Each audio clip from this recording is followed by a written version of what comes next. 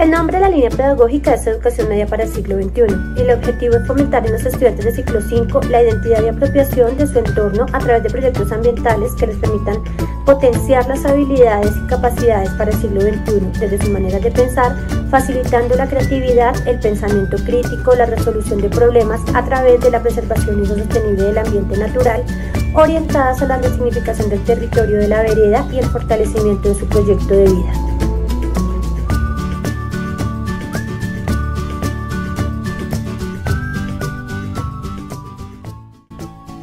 Agudo, alto, grave, bajo, no. O sea, es como si tuviera vainitas por dentro y las hicieran. Arroz, tiene arroz. Yo no sé, otro. A mí me dicen que es cielo, Ah, no, pero este no es de olores. O sea, Uy, mentolado. Ve recitar yo largo que la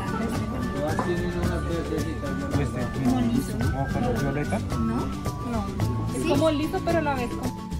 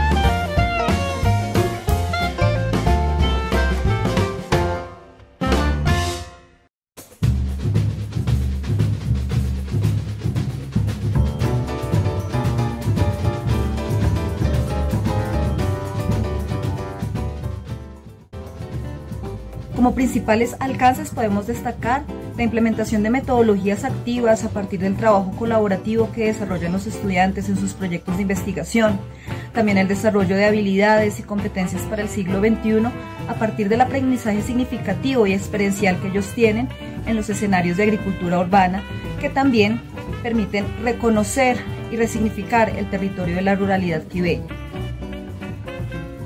Es importante tener en cuenta las limitaciones, como lo son la falta de tiempo en algunas de las asignaturas para desarrollar los intereses de la línea pedagógica, la necesidad de una mayor inversión por parte de la institución educativa e identidades externas que favorezcan los procesos que allí se realicen, y también la necesidad de articularnos con otras asignaturas como lo son matemáticas, inglés y tecnología para darle un mayor énfasis a estas áreas de conocimiento dentro de los trabajos que los estudiantes desarrollan.